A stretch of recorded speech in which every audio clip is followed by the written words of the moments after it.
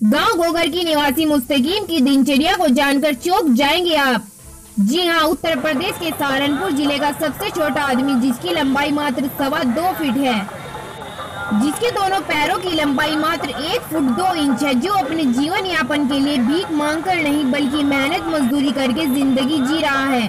साथ ही साथ शिक्षा क्षेत्र में भी बीएड प्रथम वर्ष में दाखिला ले रखा है। उसने बताया कि वह अपने दम पर ज़िंदगी जी रहा है। और उसका निकाह करने का भी इरादा है, जिससे वह अपनी ज़िंदगी जी सके। उसने बताया कि इस हाल में भी वह बहुत खुश है। सरकार चाहे तो उसे मदद दे सकती है, मगर मांगेगा नहीं। रिपोर्ट राकेश कुमार।